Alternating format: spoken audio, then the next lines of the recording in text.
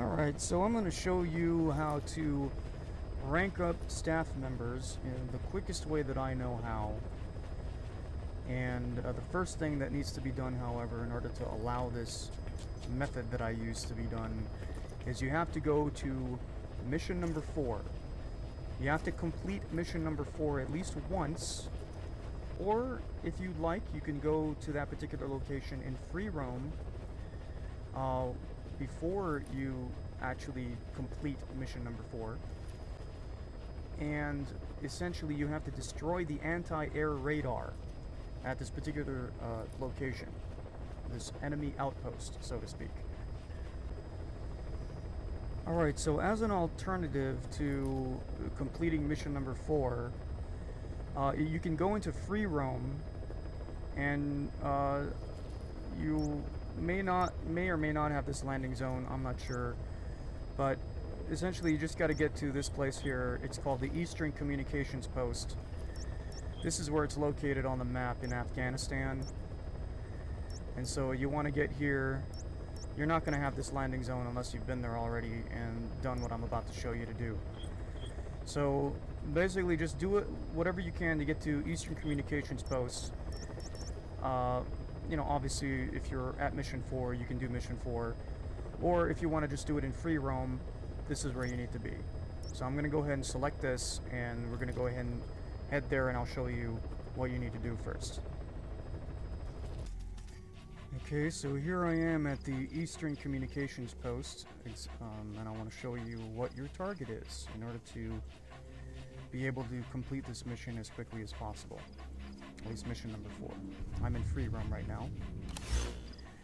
So once again, here we are, Eastern Communications Post.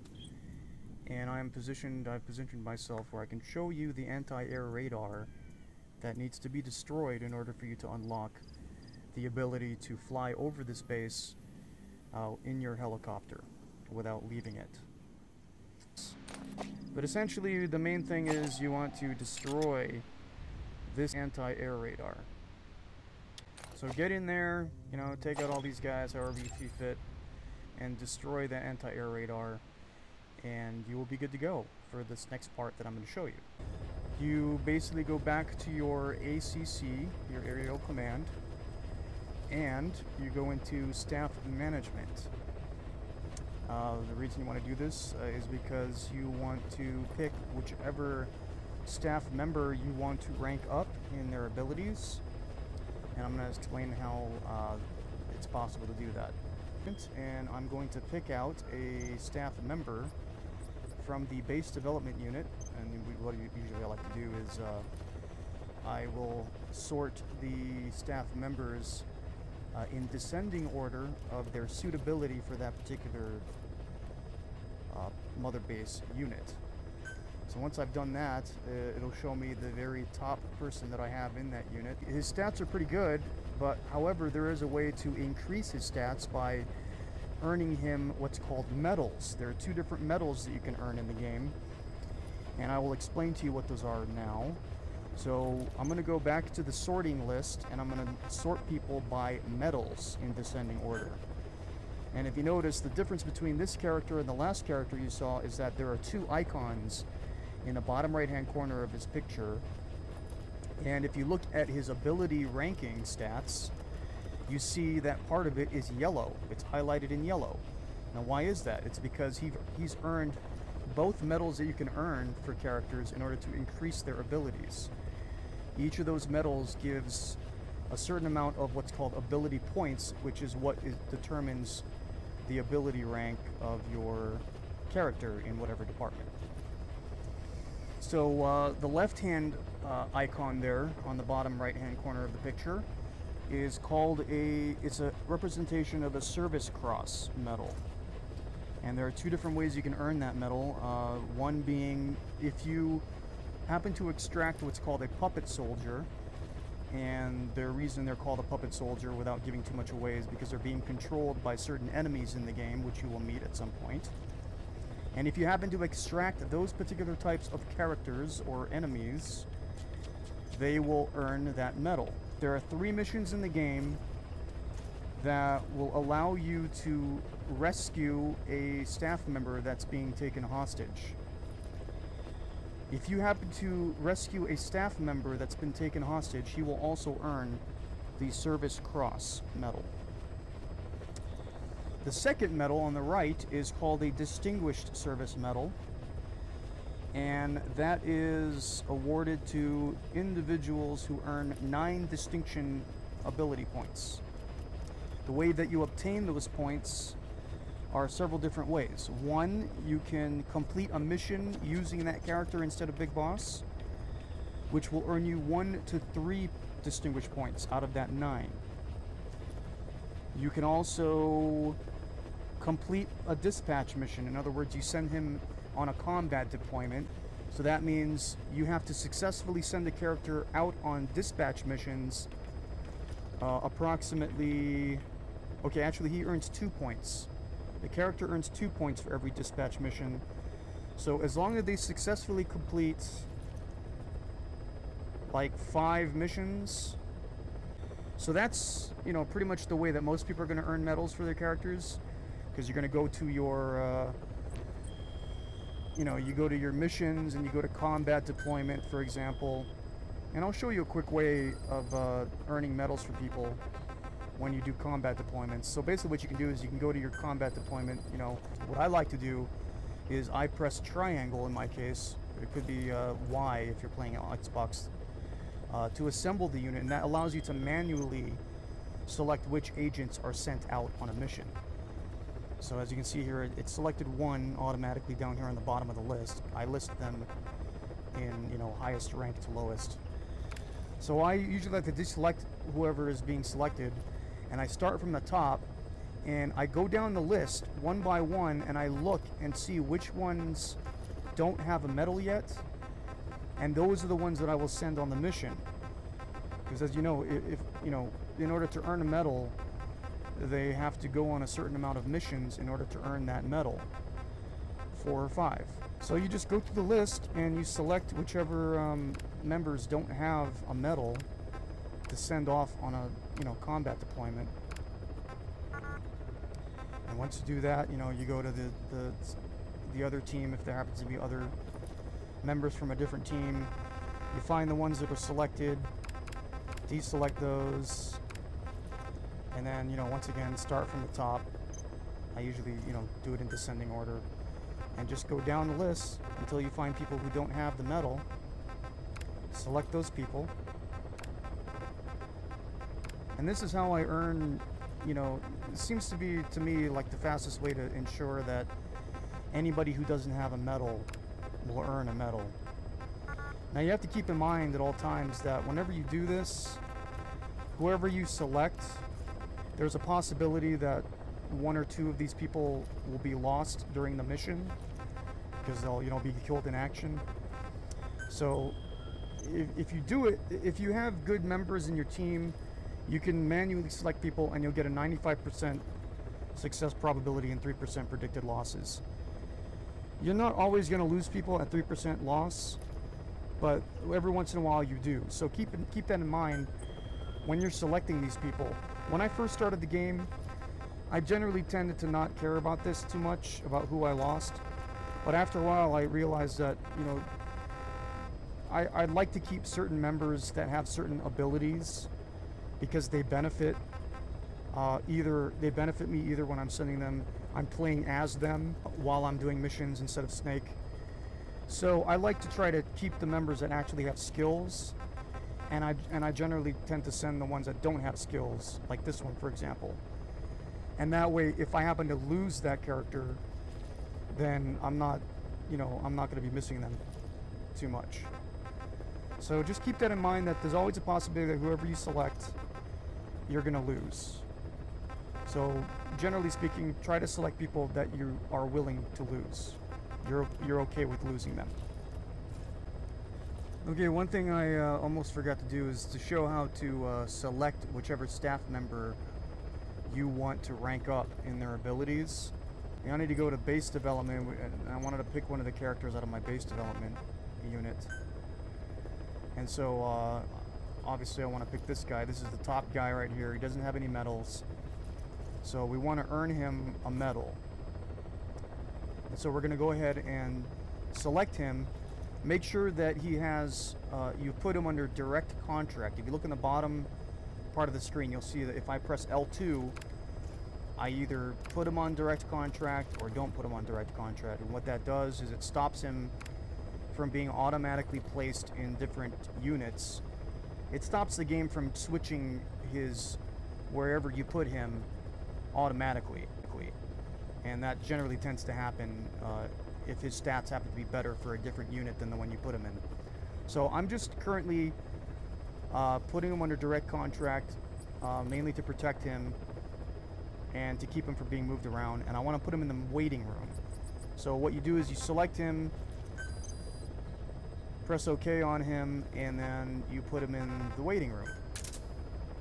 Alright, and then what you want to do is you want to go to your combat unit, because these, are the, these this is the list of the people that you can send on combat deployment missions, or that you can select to play as during the game. So in order to make that other character show up in the list, depending on what his stats are at, I usually take the top person in the combat unit, which is usually the guy that's going to show up on the top of the list when you're selecting a character, and I put him either in a waiting in the waiting room or sometimes I, I make him fill the spot that, that, that is lost by taking the guy out of whatever place. So, so for example, I took him out of base development unit, my original character. So I'm going to replace him temporarily with the character from the combat unit. And you're going to have to, you know, keep a mental note of this so you don't put people in the wrong departments and leave them there. So anyway, I have had him in the waiting room, so I'm going to take him out of the waiting room now. And now that I've freed up space in the combat unit, I'm going to put him in the combat units. So once I've done that, I want to make sure I, I don't lose his name. So I'm going to have to uh, sort this by uh, uh, direct contract. And hopefully I can find his name in here. He's at the top of the list here, so... So there's a Creeping Eagle is the guy that I want to uh, level up. You go to your missions, select the mission that you want to do, and now, once again, this mission is going to take place at the Eastern Communications Post, and you want to select, uh, once you've opened up this landing zone by doing what I asked you to do earlier, destroying that anti-air radar, then you can select that landing zone. So once you've selected your mission and you've, uh, you know, you get to the, uh, the sortie prep screen, you want to try to make sure that the amount of GMP that you spend going into it is as cheap as possible. And so far the cheapest I've uh, seen is uh, 540 GMP. And basically all I do is I just go to select equipment. Uh, what I like to do is I make a loadout. You know, I pre-select, I'm pre-made a loadout loadout 1 is what I use to, uh, whenever I want to go into a mission with the absolute bare minimum of equipment. And so I generally just pick the first thing that I see, the assault rifle.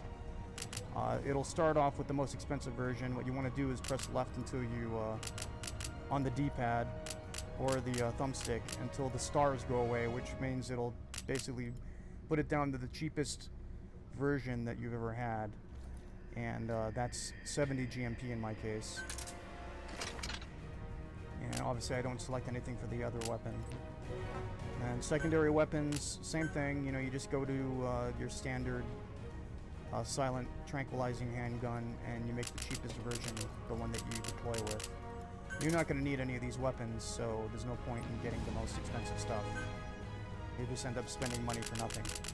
And then I just make sure there's nothing in support weapons nothing in items and I go to tools and it'll most likely want to give you the, the highest versions of these tools like the Fulton device and you want to basically make the cheapest version available.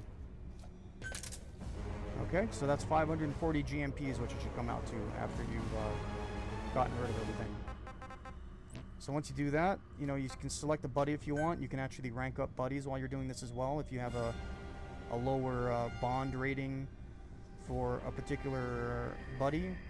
You can bring them along and it will earn bond level. Every time you deploy with a buddy, you earn bond level with that buddy. Alright, so let's go ahead and start the mission. And this is pretty much the fastest way that I know of to rank up characters. What you want to do is just basically do this mission the way that I'm doing it now about three times consecutively and you should be able to get your uh, character to earn a distinguished medal in order to rank his abilities up. Once he opens the door, look to your left and activate the Gatling gun. I usually recommend going into first person mode. The first target is going to be right there behind that icon, which is that little dish that I just destroyed. The second one is right here. Destroy the remaining antennas. The third one is going to be right behind this. And you got to wait a little bit for it to come out, and there it is right there. Then you want to exit cannon by pressing triangle or Y and press down on your thumb pad to go to the other side of the helicopter.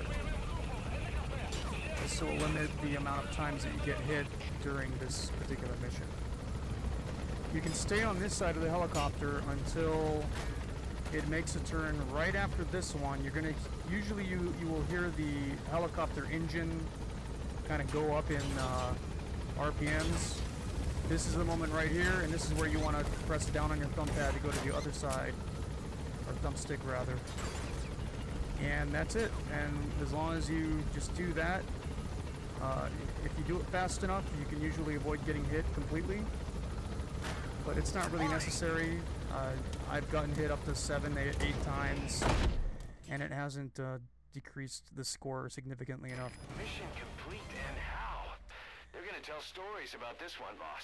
So you, now that you see, I can S rank this pretty much by doing it this way, and uh, since I have very little deployment cost, the you know I gain a pretty decent amount of money. You can you can do other missions to earn more money. This is not the best way to, to earn GMP. Alright, so this is going to be the third time that I've done this mission now in a row. And if you notice, I, I got awarded the Distinguished Service Medal. Now we can go ahead and uh, take a look at that, uh, that particular staff member's uh, stats. I'm going to go direct contracts and Creeping Eagle. There you go, Distinguished Service Medal, and he's ranked up a little bit. Now, I mean, for this, uh, you know, if he only has one medal, he only gets a certain amount of ability points, so he didn't rank up any further than S. But if I were to get him another medal, either by repeating certain missions in the game in which he happens to get uh, taken hostage, and I rescue him, then he will earn the additional medal, which will probably take him up to at least an S+. plus. Hopefully. I don't know for sure because I've never actually done that yet. But anyway, that's how you earn a, uh, a, uh, a medal for a character pretty quickly, I would say. Three missions, you know, takes a couple of minutes, and you're good. Alright, so uh, thank you for watching, and hope you enjoyed it. Have a nice day.